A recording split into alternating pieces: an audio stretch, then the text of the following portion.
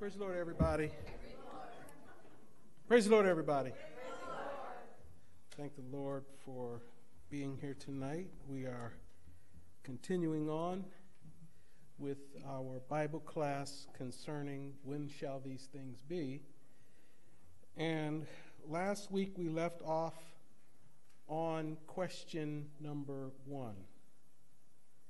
And again, just as a recap, when the disciples asked Jesus those three questions when shall these things be? And the sign of the end of the world and the sign of that coming, Jesus answered them out of order. And when it came down to the sign of his coming, he answered twice because he's coming back two times. So there's a question two, which is the sign of his coming, is answered in a part A and part B. Now we have dealt with question three. Now we're moving on to question one. When shall these things be? And if you will open your Bibles to the book of Matthew, chapter number 24.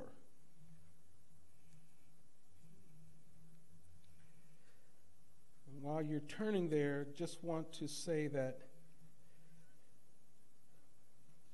again, this is not dealing with a description or a lot of description concerning what's going to be taking place during the tribulation or during the millennial reign, during the church age, but the signs of when the end of it will be. And if I just throw this in for extra, the sign of the end of this age, this dispensation, we are on borrowed time. All the prophecies have been fulfilled, all of it. There's only one thing holding the Lord back one word long suffering. He's long suffering toward man for us to get ourselves together. If we go to Matthew 24 and verse 15, 15 through 22. when ye therefore see the abomination of desolation spoken of by Daniel the prophet, stand in the holy place. Whosoever readeth, let him understand. Then let them which be in Judea flee into the mountains. Let him which is on the housetop not come down to take away or to take anything out of his house. Neither let him which is in the field return back to his clothes. And woe unto them which are with child, and to them that give suck in those days. But pray that your flight be not in the winter, neither on the Sabbath day, for then shall be great tribulation, such as was not since the beginning of the world to this time, no, nor shall ever be. And except those days be shortened, there should no flesh be saved. But for the elect's sake, those days shall be shortened. Now, the key to understanding who he's talking to in this is the very last sentence. But for the elect's sake, those days shall be shortened. There have been many that have misinterpreted this scripture to mean that the church is going through the tribulation period because they don't understand who the elect is. Some preachers in interpreting the Bible say that the anytime you see the word elect, it's always talking about the church. Some feel like it's talking about Israel. So let's see who the elect is that he's talking about here. In the book of Isaiah 42, there are four different times in the Bible that the word elect is used to describe a group of people or a person. Best way to understand who he's talking about is to first see who these four groups are. In Isaiah 42 and 1, Behold my servant, whom I uphold, mine elect, in whom my soul delighteth. I have put my spirit upon him, he shall bring forth judgment to the Gentiles. The elect that we're talking about here is Jesus. So when the word elect is used, it could mean Jesus, but not necessarily. And just for a side note, Jesus is the only time the word elect is ever used for an individual. Any time other than him, it's talking about a group of people. In the book of Colossians, chapter 3, and verse 12, put on, therefore, as the elect of God, holy and beloved bowels of mercy, of mercies, kindnesses, humbleness of mind, meekness, long suffering. Who is he talking to? The church. He's referring to the church here because we are the ones that are holy. We should be, shouldn't we? The church should be the ones that should be holy because they have the Holy Ghost. Now, did you know you can't be holy without it? You can't be holy without the Holy Ghost. Did you know you can't get to heaven unless you're holy? How'd you know that? Because I said so? Oh, because the Bible says so. It says, Blessed and holy is he that have part in the first resurrection, doesn't it? it says that in the book of Revelation. In the book of Hebrews, he says, Follow peace with all men and holiness, without which no man shall see the Lord. If you're not living holy, then you need to get the Holy Ghost. Because you can't live holy without it. If you could, then there wouldn't be a need for it. If you could live a good, clean, holy life without the Holy Ghost, then the Bible is wrong. Because in the Old Testament, I'm not sure if it's Isaiah or Jeremiah, he said, and he looked in the earth, and there was no man.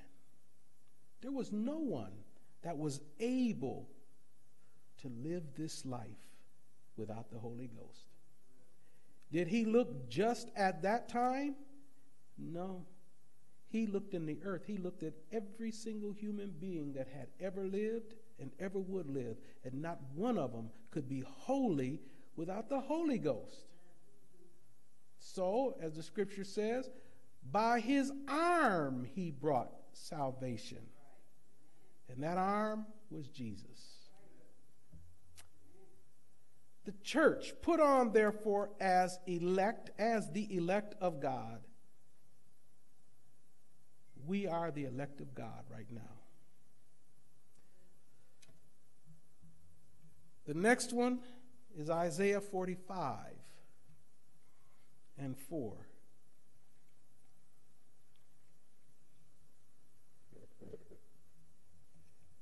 For Jacob, my servant's sake, and Israel, mine elect, I have even called thee by thy name. I have surnamed thee though thou hast not known me. Who's he talking about? Israel. Israel is his elect here. Now there's one other. This is kind of a extra. I'm adding it in. If you go to the book of 1 Timothy chapter 5 and verse 21. I charge thee before God and the Lord Jesus Christ and the elect angels, that thou observe these things without preferring one before another, doing nothing by partiality. So here he says there are elect angels. If you mess up on who the elect is in verse 22, you will miss the entire application of this prophecy. The elect he's talking about is Israel, not the church. When he says in verse 19, and woe to them that are with child, and to them that give suck in those days, but pray that your flight be not in the winter, neither on the Sabbath day, for then shall be great tribulation. That's to Israel. I'll sidebar a little bit about the tribulation. Let me just say this about it. The tribulation period is when God pours out his wrath on Israel and the earth. He has no intention of pouring out his wrath on his own people. God doesn't work like that. Now, what he will do is let the devil try you. Doesn't he do that? All right, some, some of y'all look like you either getting ready to nap or like I'm, I'm going crazy. God will let the devil try us. Is there anything wrong with that? Yes, ma'am? Oh, you're just waving your. Okay. Is there anything wrong with that?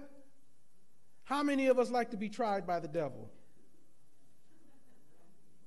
No, no, we don't. So, what is the purpose of being tried by the devil? Yes, sir. To help make you holy. Anybody else? Yes, ma'am. To strengthen you. Yes, sir. To remove pride. All those are good. How about this? How can you say that you love God and you've never been offered any other alternatives? You can't. There's a nursery nursery rhyme we used to say when we were little kids. Peter, Peter, pumpkin eater, had a wife, but couldn't keep her. He locked her in a pumpkin shell, and there he kept her very well. God's not like that. God's not locking his people away somewhere so that he can keep them. He gave you the power to be kept. Now, that's kind of a crazy nursery rhyme, anyway. I mean, that's what, what do they call that? False imprisonment. He gonna lock her up so she can't get away from him? That's pretty bad. Maybe we shouldn't be teaching our children that. Yeah, pumpkin shell, you're right. Anyway, God gave us the Holy Ghost and then said, I know my people with me in them can make it. Do you think that you would never be tested by the devil? Sure, you would. I think I've said this before. You don't go and buy a car and not take it out and test it, do you? And you don't, if, if you buy a brand new muscle car, I mean a hot rod, a car that's supposed to be able to do 200 miles an hour, if you was at the dealership and he said, now listen, this car can do 200 miles an hour easy, but keep it under 35. I wouldn't want that. I want to get out someplace and lay that pedal down and see just how close I can get to it. It should be able to handle that, shouldn't it?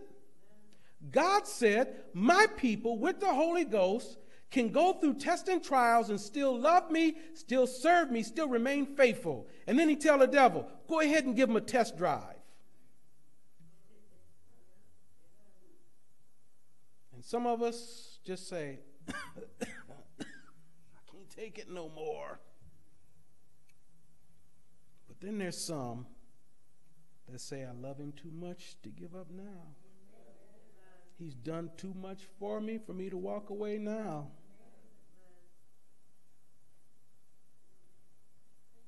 Should you be patted on your back because you've gone through a test and you survived it?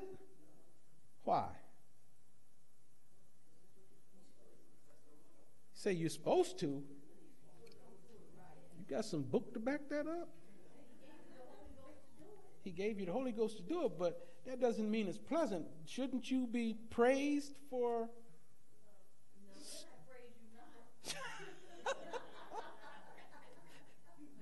she said, He says, I praise you not. yes, ma'am. She said, We have to look to the greater reward. All right, um, where is the scripture at where he says that it's your reasonable service? Where, where, where is that at? Somebody find it. Romans 12. You got me in the neighborhood. What's the address? Let's see. Romans 10, 12. I beseech you, therefore, brethren, by the mercies of God, that you present your bodies a living sacrifice, holy. Ooh, there we go with holy again. Holy, acceptable under God, which is your reasonable service. How many in here have jobs? That many. Got some working saints. Tithes and offerings should be real good. you go on your job and they tell you to do something and you do it. Do you then turn around and expect them to praise you because you did your job? Your job is taking a wooden square block and putting it in a wooden square hole. All day, that's what you do. Do you wait for the supervisor to walk by and tell you, Great job? I see you putting the square blocks in the square. No, that's what your job is, right? That's only reasonable. Now, if you get finished with that and sweep up around your work area, that's different. But the Bible says you being a living sacrifice is only reasonable. You know why? Because somebody became a dead sacrifice so that you didn't have to be. Now, all we have to do is be a living sacrifice. But now, let's just back up just a little bit. I beseech you, therefore, by the mercies of God, that you present your bodies a living sacrifice, comma. Now let's add something else onto it. Holy. Do you know some people act like they've done something special because they've lived holy? They was going to do this, that, and the other, partying, and I knew I'm saved. I'm not going. I didn't go to the party. And they're looking for somebody to, hey, great job. No, that's just being holy. Isn't it? Does anybody know another definition of holy? Isn't it being clean, pure? You don't go out and soil yourself with the filthiness that the world is doing. And come back and we'll stand up and testify. I thank the Lord that on my job everybody was drinking and smoking. And I thank the Lord. I stood there and I said, I am not going to participate in that. Hallelujah. God, God help me. I did not jump in at all. Matter of fact, I told him I'm leaving and going home. And then when the saints don't get up and shout with them, then we get. I said, that's your reasonable service. We want people to get happy because we did what God told us to do. All right, I'll leave it alone. I just got through saying something about tithes and offering. I don't want to get them all cut off now. Holy, acceptable unto God. Now, give me just a minute to work with that, just a little bit acceptable unto God. If you go to the book of Matthew, chapter 7, I'm going to get back on the subject in a minute. Matthew chapter 7.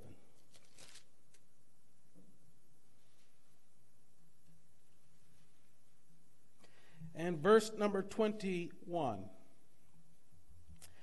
Not everyone that saith unto me, Lord, Lord, shall enter into the kingdom of heaven, but he that doeth the will of my Father which is in heaven. 721, verse 22. A few, I'm sorry, what? Many. Many will say to me in that day. What day is he talking about? Say what? The day he comes back? Judgment? Yeah. The day of judgment. When he raises you up and you have to stand before him, many are going to say, Lord, have we not prophesied in thy name? That's something pretty nice, isn't it? Prophesying for the Lord. Got a whole lot of folks think they prophets today. The only prophets that there is today are the ones up preaching. A whole lot of other folks doing their own thing, saying their own thing. And God told me to tell you, I had a man prophesy to me one time that I was wrong for letting another man tell me what to do. Come on out that church and let God teach you. What kind of prophecy is that? You're going to hell. I'm trying to help you. Just as silly as he wanted to be.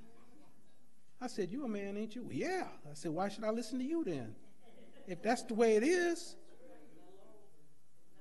Oh, you trying to twist it up now? I said, No, you are. You got it all wrong, brother.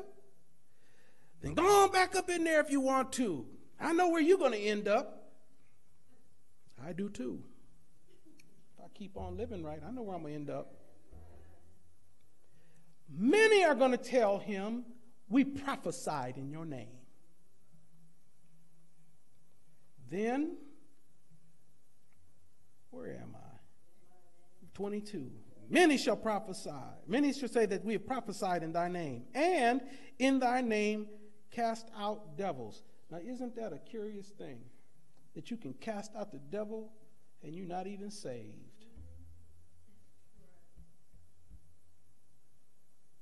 And in thy name done many wonderful works. You see these churches that they're building today, don't you? They're building churches that look like concert halls. I was just talking to, to a brother today. He said there was a church that he went to. They got a light show. He said, I don't like it. You walk in there and it's dark. You know, they kind of got this nightclub feel to them. Everything's dark, ceilings and walls is painted black. They got that warehouse kind of a look with pipes running all down through it to make it look like it's rustic, and a light show on the stage. And when the pastor's getting ready to come out, the curtains go up and the lights start flashing. They're building some things now. Now that stuff the young folks are like. They, they like all that kind of stuff. It's a concert. Woo, we had something. Oh, we had a time. That ain't got nothing to do with living holy. That can't help you get saved. Can't help you stay saved. You know, you at work and you going through a problem on your job, you don't think back to the light show at church and that gives you the strength to go on. But the word of God can. You can remember something that was preached and it helped you to go on, can't you? All right, I'll, I'll leave it alone. So many, many were going to say those things. And the Lord said, And then I will profess unto them, I never knew you. This isn't backsliders, these are people that never had it. I never knew you. It's not when he's saying, I never knew you, it doesn't mean that he never had knowledge of them. I never acknowledged you as one of my children. You never had the Holy Ghost. Does that mean that they're not doing these things that they say? All right, now let's, let's just back up for just one more second. Do you see where Jesus said, Yes, you did these things, but that's not what I asked for? Did he say that? He didn't even address what they said that they had done. You know why? Because it wasn't acceptable. We stand and we're going to tell God what I've done for you. I know I'm going to heaven. I have worked at the church for 40 years, never missed a day, had the flu, fever, just runny nose, achy bones and body, but I was there at the church cleaning up and doing whatever I could do for the house of the Lord. He didn't tell you to do that. Tell you what he did do. He said, Be holy, be ye holy. Isn't that what he said? Even as your Father which is in heaven is holy. But we're going to tell him what is acceptable. I laid the cornerstone for the church. Matter of fact, I gave all my 401k for the church to be remodeled. He didn't ask you for that. Now, if you want to do it, he didn't ask for that. He said, Be holy, right? So, these people did what was acceptable in their eyesight. They did what they thought was acceptable to give to God. Who else did something like that? Pharisees, yes. Let's go back to the first brother that did it. Book of Genesis.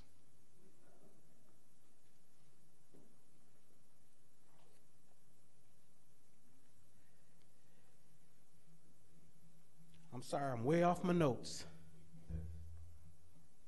Genesis chapter 4. And verse number 3. Well, no, let's start at 2. And again she bare his brother Abel, and Abel was a keeper of the sheep, but Cain was a tiller of the ground. And in the process of time it came to pass that Cain brought of the fruit of the ground an offering unto the Lord. Now, isn't that wonderful? He brought God an offering. You know what this is telling us? He came to church, didn't he? Isn't that what he did?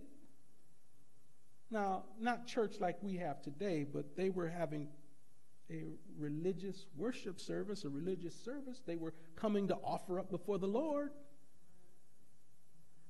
He comes to church with his offering.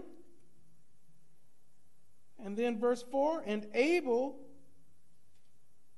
he also brought of the firstlings of his flock, of the fat thereof, and the Lord had respect unto Abel and to his offering. But unto Cain and to his offering he had not respect, and Cain was very wroth, and his countenance fell. Now, just stop for a moment and look at how God words this in verse number four. And Abel he also brought of the firstlings of the flock and the fat thereof now, this is the last, the latter part is what I want. And the Lord had respect unto Abel's offering. No, it says unto Abel and his offering. Abel was doing what God asked him to do, and God had respect to him for that. And for what he brought, because he brought what God had asked. How do you think these young men found this out? How do you think they knew what they were supposed to bring? How do you think they knew they were supposed to bring something in the first place? Somebody had to tell them, didn't they? I'll tell you who it was. I'm going to just guess.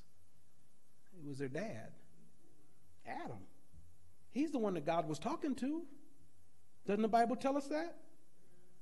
That God talked with Adam? The next thing we find after they sin God offered up a sacrifice to cover Adam and Eve. After that, here's Cain and Abel bringing sacrifices to God. They were being told how to serve God and what God expected. Now, I know a lot of preachers will dig really deep into the fact that one brought a blood sacrifice and the other brought grain sacrifice. But now, my only point about that would be that this is prior to the law. And under the law, he told them what type of animals to bring. So we don't know for sure what it was that God told them to bring. What we do know is Cain had a wrong spirit, didn't he? Because the Bible says the Lord did not have respect unto Cain or his sacrifice. But unto Cain and to his offering he had not respect, right? So, Cain, there's something wrong with Cain. But how can there be something wrong with him when he's coming to church? Yes, ma'am. He said, she said that the Bible says that um, Abel brought the firstling, and Cain, it just says he brought the fruit of the ground. Maybe it wasn't the best. Whatever it was, it wasn't what God asked him for. It wasn't. Now, you're about to see something here. Please remember this. The very next thing that happens in verse number six. And the Lord said unto Cain, Why art thou wroth? And why hast thou countenance fallen? Now just stop there for a moment. Who told Cain and Abel about church and to bring the sacrifice? They were taught that. But now, Abel is bringing what he's supposed to. What did God say to him?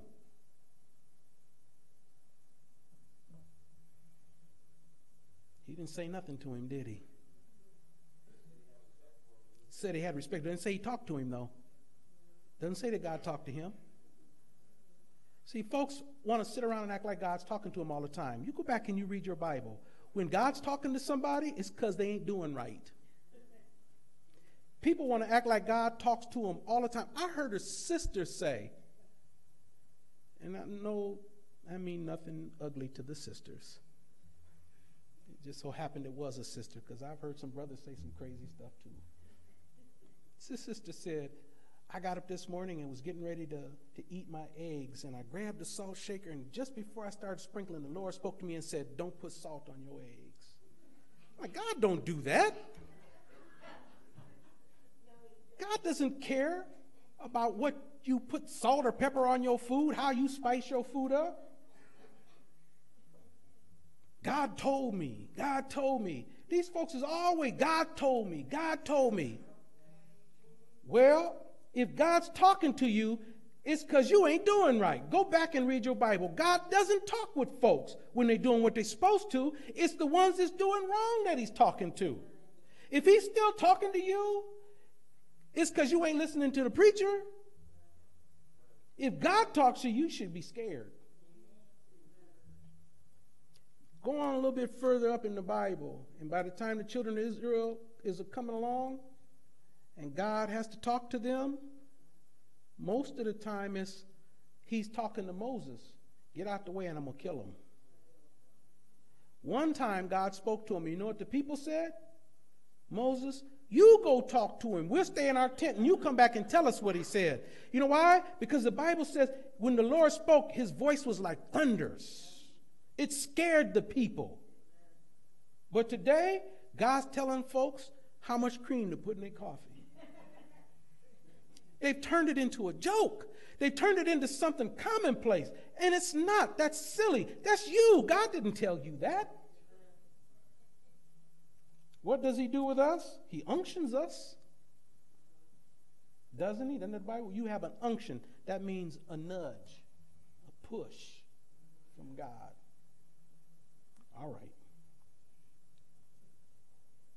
He goes on a little bit further in verse 7 if thou doest well. Now, we're not talking about the sacrifice now. We're talking about your behavior, right? Your behavior isn't right. If you do well, shall thou not be accepted? If you do right, won't I accept you?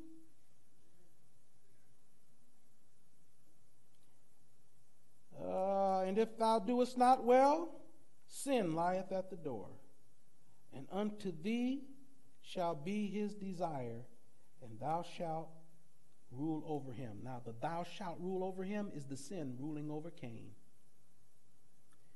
He said, now when he says that sin lieth at the door, If you if you look up the, the definition of that word lieth, it's like croucheth, like a lion that's crouching down. You ever watch Animal Planet, those kind of programs, and they showing a lion getting ready to go after an animal? He'll get way down low. If you haven't, look at a cat.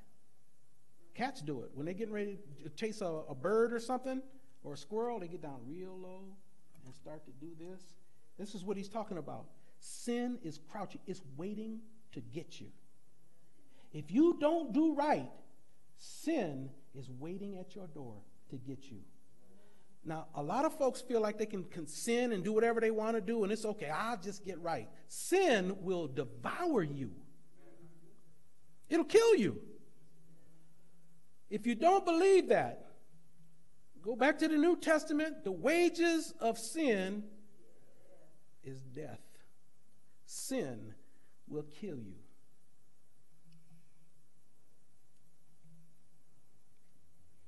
So Cain, now that God talked to him, straightens up and does what he's supposed to do, right?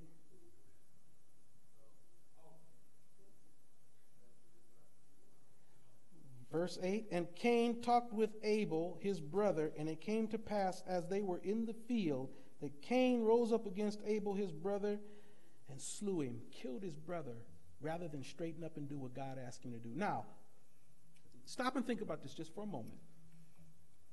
Abel went to church, offered up to God what God wanted. The Bible says that God respected Abel and his sacrifice, doesn't it? And what did Cain do to him for it? He tried to, but God delivered him, right? Now, he killed him.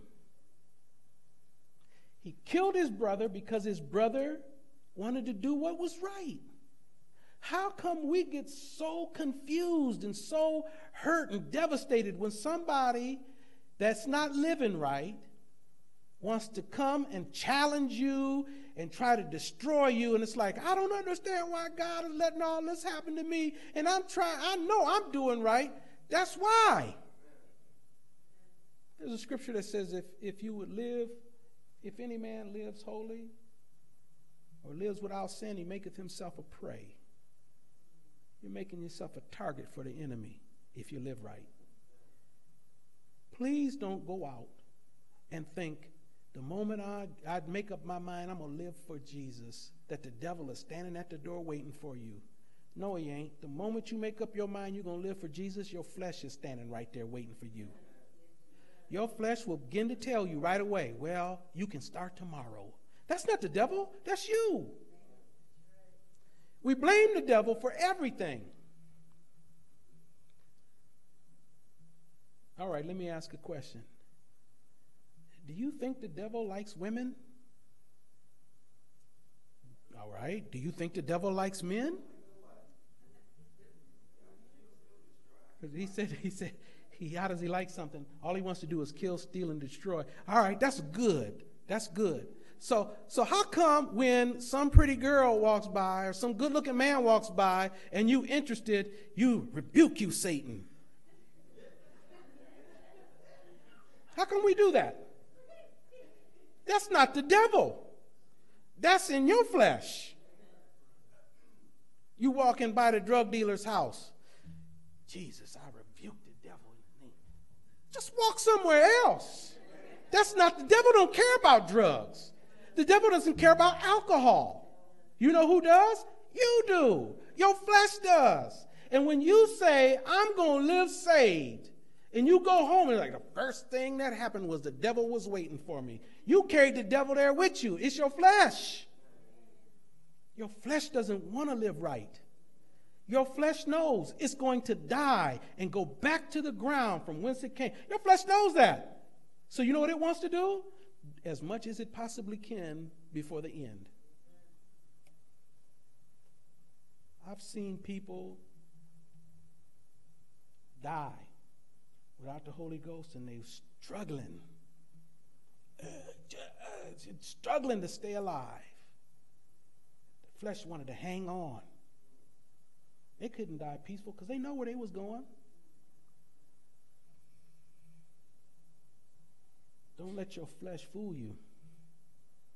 You can blame the devil all you want to, but you carry the enemy with you to bed. You carry the enemy with you to work. You carry your enemy with you to church. That's why when you get to church, you know, they, they, the preachers would get up, or the song service leader get up, and everybody stand up and let's just jump on the devil's head. Everybody stand up and point your finger to the back door. We're rebuking Satan. Get out. He ain't the one that needs to be rebuked. It's your flesh. All right. Did I harp on that enough? Did y'all get that? I got folks coming and telling me what the devil did to him. I know the stuff that the devil, they saying the devil did, he didn't do. That's them. Trying to blame the wrong one. Better blame you. You know why? Because there is no temptation such as common to man. There ain't no temptation taking you, but what's common to everybody. What is it? What's in your flesh. And the temptation don't come and tease with you. It says it'll take you. Temptation to take you. All right, since y'all won't say amen, we'll move on. Go on back. Matthew chapter 1.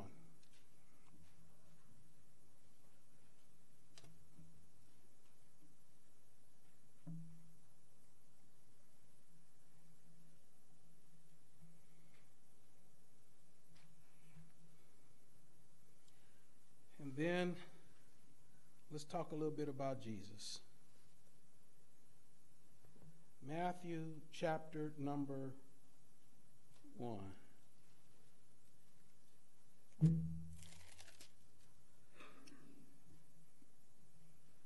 And verse 21 And she shall bring forth a son, and thou shalt call his name Jesus, for he shall save his people from their sins. Now, who are his people that he's talking about here? Israel. That's right. It's Israel. Those are the ones that he came to save. Jesus says this later on I came to my own, and my own received me not. There's another place where the Syrophoenician woman came and asked him to heal her daughter. And he said, I didn't come to you, come to Israel. I can't give the children's bread to the dogs. Some of us would have walked away with wind in our jaws, mad. He called me a dog. Wouldn't we? Ain't no sensitive people in here. Nobody willing to say amen.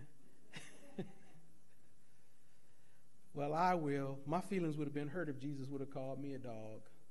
They would have been. I might would have kept on if I if I had confidence that he could do it. I might would have pers- persisted like she did I don't know, but I know my feelings would have been hurt. I don't, I don't like it when a person calls me a dog. How about God? That seems kind of harsh. But he didn't come for the Gentiles, he came to, for his own people. I'll save my people from their sins. And my people didn't want it.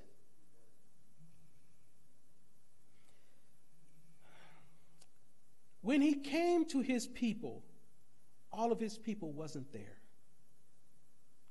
Go to the book of 1 Kings, chapter 12.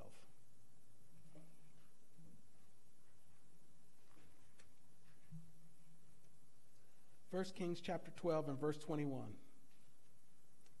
And this is the son of Solomon. His name is Rehoboam. And when Rehoboam was come to Jerusalem, he assembled all the house of Judah with the tribe of Benjamin, an hundred and fourscore thousand chosen men, which were warriors, to fight against the house of Israel, to bring the kingdom of again to Rehoboam, the son of Solomon. So at this point, Jeroboam took ten of the tribes he took 10 tribes and went and started his own kingdom and left Rehoboam with two Benjamin and Judah. Verse 21. 1 Kings 12 21. We have a split They never got reunited, reunited back together again as a united kingdom. It was only united under Saul, David, and Solomon. By the time Solomon's son comes along, he, he's so hard headed and so self willed that he destroyed the, the, the, nation. We, they said, Give us a break. Your dad taxed us to death. Give us a break. He said, If you think that was tough, my little finger, his little fingers, my thigh will be like his little finger. I'm, I'm really going to hammer it home to y'all. You think his finger was thick? My finger is going to be as thick as my thigh. I'm going to really push it down on you. Hard headed. Destroyed the kingdom. All he had to do was say, Yes, we'll take a break from this much taxing. And he would have saved the kingdom. But you know who he was listening to? All his buddies. The old men had wisdom. His buddies, they didn't have good sense. They were young. And that's not to say that young, all young people are stupid, but sometimes you wonder. I'm teasing. I'm teasing. yeah. I know I was. When I was young, I didn't have good sense. He should have went to the old men. He should have took the advice of the old men. They knew the temperament of people, and he blew it. Now the nation is divided. By the time Jesus gets here, who does he come to? Judah and Benjamin. The other 10 tribes are still scattered among the nations. So,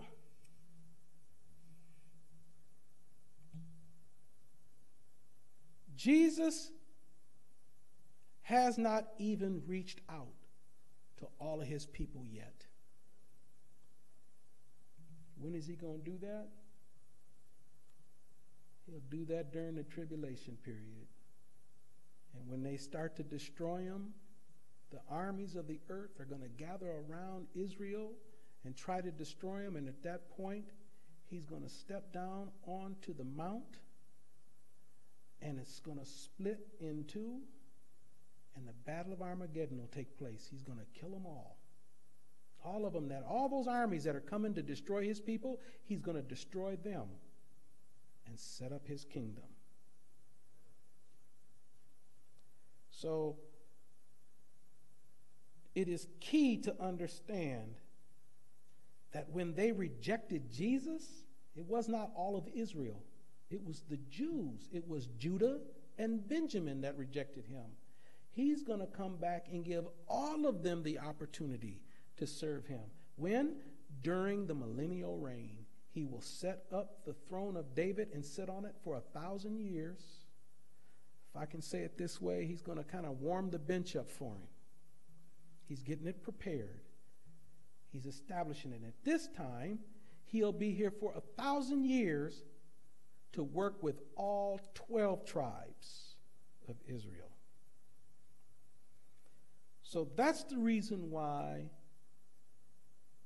the Bible talks, Jesus talks about two different comings.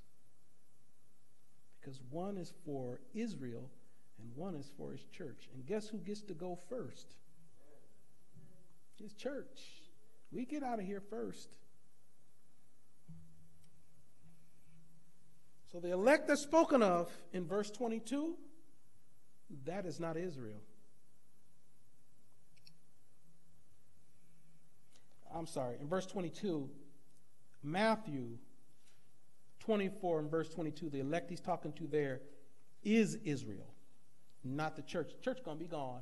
We're not going to be here during the tribulation. So it has to be a different elect. He's not coming to save the angels, and it's Jesus that we're talking about doing it. There's only one elect left Israel. So you have to narrow it down here a little and there a little. We whittled it out that it's not the church because he's not going to pour out his wrath on his own people. There's other scriptures that, that help us with that too, and we can get to that another time. But he wasn't doing it, he's not going to punish the church. The, the, I think the question was asked Will God punish the righteous along with the wicked? No, he will not. As a matter of fact, when he went to destroy Sodom and Gomorrah, he gave the righteous an opportunity to come out, didn't he? Because he won't punish the righteous along with the wicked. He told Abraham, he said, He's my friend. I won't hide what I'm getting ready to do to him because he's my friend. So I'm going to tell him what I'm going to do. And Abraham began to negotiate with God. If there's 50 righteous people in the city, will you kill the righteous with the wicked? Nope. For 50's sake, I won't do it. He gets all the way down to five. Would you spare it for five? He said, If there's five righteous in the city, I'll spare it. Now that's a shame because there was Sodom, Gomorrah, Admah. Uh, there's two more. I can't think of the name of them two. All right, I'll remember them later. Five cities, not five righteous people in all of that. Only Lot, Mrs. Lot, and his two daughters. Four. Do you see what could have happened if Lot had taught his children about God? They could have saved Sodom and Gomorrah by just being righteous. You don't believe that? If he could have, if he would have taught his children to worship God. No, look, take it a step further. His servants, if he would have taught them to serve the Lord, there would have been five righteous. All he needed was one more. And Mrs. Lot had a problem.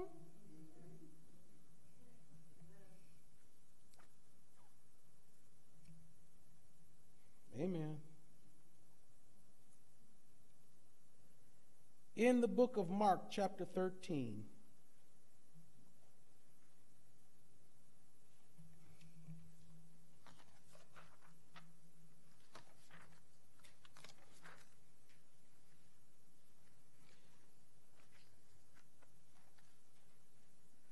Now, I'm going to read something, go back to Matthew 24. You just keep there in Mark 13.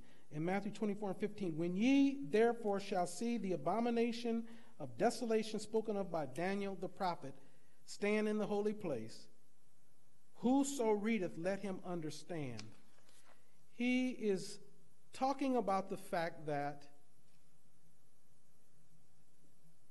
During the tribulation, the man of sin is going to come into the temple and offer up a pig. He's going to offer up something that is an abomination to God as a sacrifice. But it wasn't, it's only supposed to take place there. Let let's just read Mark 13 and then I'll explain it and we'll be done. Mark 13 and 14. But when ye shall see the abomination of desolation spoken of by Daniel the prophet, standing where it ought not, let him that readeth understanding uh, understand. Then let them that be in Judea flee to the mountains. So we're talking about the same thing, but he adds something in here that a lot of preachers really miss. Standing where it ought not. What is standing where it ought not? The abomination of desolation, standing where it shouldn't. He's not talking about a location, he's talking about a time. When Titus came in and he destroyed the temple, it wasn't supposed to happen then. It ought not.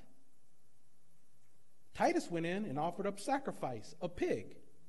So we have an abomination being offered in the temple standing where it ought not. It wasn't supposed to happen until the tribulation. So that was a shadow of what was to come. It shouldn't have took place then, but it did. You want to know what it's going to be like when the man of sin gets here? Go back and look at what Titus did. It's going to be worse than that because he's a type, he's a shadow of what is to come. But it wasn't supposed to happen. But because the Jews refused to accept Jesus, he said, All right, I won't let one stone stand on another. Here's what they did when Jesus was crucified, the, the Bible says that the curtain was rent in twain, doesn't it? That was in the temple. The curtain ripped in half. You know what that signified? The end of temple worship. It signified the end of animal sacrifices because that was where they went in. That's where they took the blood in to offer up to the Lord. He ripped the curtain in half. You know what they did? Sewed it back up again and kept right on going. If God says stop, stop. God ripped the temple. He ripped the curtain in half. They should have stopped. So to stop them, since they wouldn't stop, what did he do? Sent Titus, the Romans. He sent the Romans in. Titus was the head soldier. And the Bible says when he got finished, there was not one stone standing on another. They had, and I'll tell you real quickly, what they did was some of the Jews, when they were coming out, they had gold and they were eating the gold so that they could escape the, the famine that was going on in Jerusalem because Titus and his soldiers was surrounding them, trying to break down the walls. The people were starving to death because they had access to no food. So what they did was ate their gold coins and then walked out. I surrender.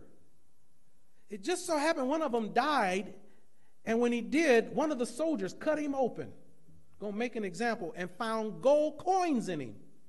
So you know what they did after that? Everybody that walked out and said, I surrender, they killed them and cut them open, looking for gold. There were rumors that there were gold in the walls. So what did they do when they got the temple? Titus said, Don't tear it down. It's a testament to what I've done. I've conquered the temple that was so secrety. They were so greedy. His soldiers were so greedy for gold they thought there was gold in the walls, tore every stone apart on that temple, all of it, just tore it down. Jesus wasn't lying. He wasn't just kind of guessing. Not one stone was left on top of another. Matter of fact, one historian said later on when he went and looked, had you not known that there had been a temple there before, if you looked at it now, you would never know there had been one he so his soldiers so utterly destroyed that tabernacle, that temple. They ripped it completely apart. All the mortar, they was digging through the mortar looking for gold buried in there. Killed more than a million Jews. Slaughtered them. Wanting gold. But that's exactly what Jesus said was going to happen. He said, Look at it. What you see right here, not one stone's going to be left on top of another and it wasn't. He, they tore that temple apart, all of it. Took all the gold they could. Titus ran a tight ship, but he couldn't get his men under control for that. I was just reading about that last week. He couldn't get his own soldiers under control. They were so possessed by getting gold that he lost control of his own men. But Jesus foresaw it. He knew what was going to happen. So it wasn't supposed to happen then. Had they stopped their sacrificing, the temple could have stayed. But since they were so hard headed, we're going to kill Jesus and go back to, to offering up sacrifices again. He said, Not one stone's going to be left on top of another. You can play around if you want to, doing what God said don't do, but He'll bring it to nothing. If He say don't build the church, don't build it. Amen. All right. Any questions? I know some of the saints is ready to go home and go to bed. I can tell. Yes, ma'am.